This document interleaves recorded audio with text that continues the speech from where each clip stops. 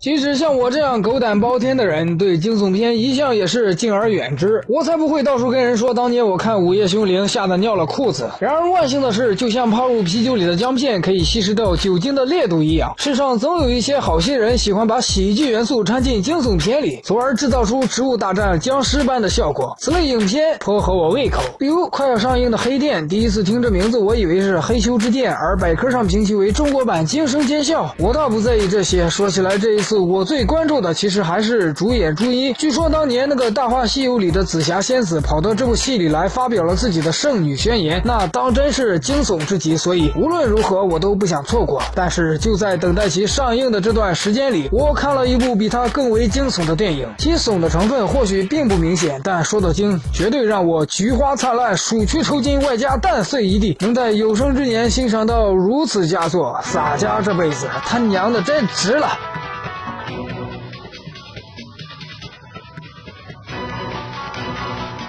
这话还要从《西游记后传》说起。上次我说它是烂片中的战斗机，确实，它重复的武打是最大的败笔，毁掉了一个本来还算不错的剧本。但跟今次我要介绍的电影比起来，我发现《西游记后传》可爱的就像我女儿一样。首先，我可以告诉大家，这个电影是韩国人拍的，没错。听到这儿，相信很多同学和我一样，菊花已经开始隐隐作痛了吧？您先顶住，再看这个海报。在阵亡之前，我想问一句：这丫的都是哪个次元穿越过来的鸟人？我了个！操！要不是看这个紧箍咒和露出的半个金箍棒，我真想不出这跟《西游记》有半毛钱的关系。没错，这电影就叫《西游记归来》，正宗的棒子出品，如假包换。这个创造了宇宙的国度终于对《西游记》下手了。我知道我要冷静，但我想说，不是我要喷你，是全国人民选我喷你。因为这个烂的没有下限的片子，我平生真是第一次看。不必说孙悟空那一头大辫发型和屎壳郎式的盔甲，也不必说猪八戒和沙悟净那不知哪个地摊上淘换来的乞丐装，但是他的剧剧情就。差点让我七窍流血。故事讲述了五百年前唐僧师徒四人封印了作恶多端的牛魔王一伙。等一下，唐僧怎么会是这个形象？棒子们是不是觉得三藏法师就应该身宽体盘？我他的喵的，这是哪个局长来客串的？还有牛魔王，你要不跟我说这是牛魔王，我下辈子也不知道这是个牛精。呀，进化真够彻底的。还有金角银角和白骨精，这形象整容整的有多屎，我就不提了。我就想知道他们怎么和老牛扯成一伙的。当然，这两班人马如果真打起来，我想。我还是支持老牛一伙，因为我受不了这神经质的猴子。您来听听他笑声有多销魂，你就知道了。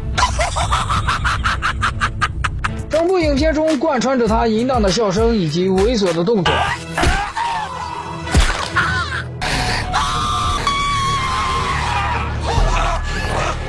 我从内心发自真心的想对他说：“妈逼的！”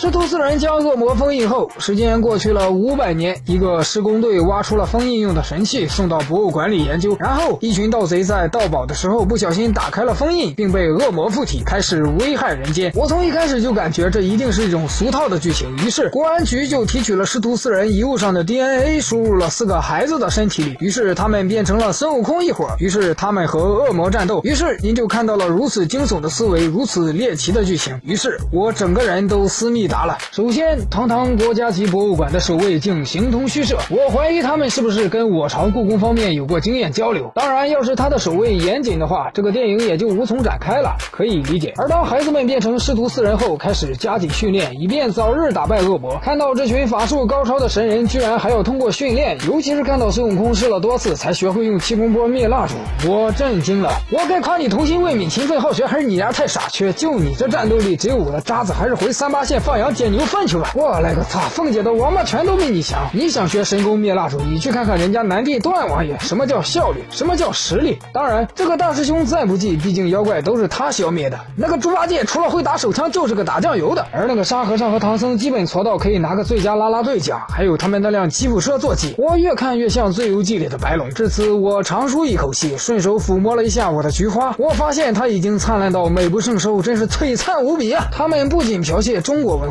就连岛国动漫也照头不误。当然。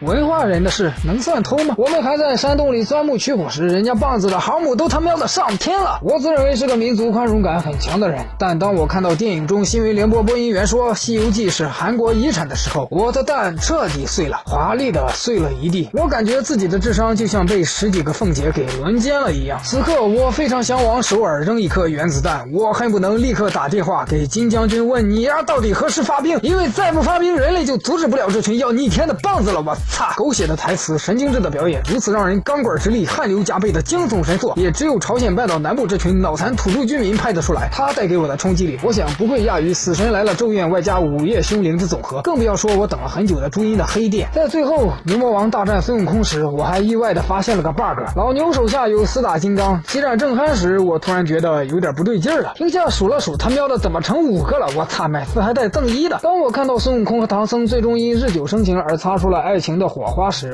我不禁尿流满面。我一百三十五度角仰望天空时，想起了朱茵当年那句经典的台词：“我猜对了结局，却没有猜对过程。”对于这句让我铭记在心的台词，我想不出更多的、更好的祭奠方式，只是期待他在新电影中的表现。而对于棒子的这部名为科幻、实为惊悚的《西游记归来》，我唯有真诚的送上三个大字，来结束此次典型。妈逼的！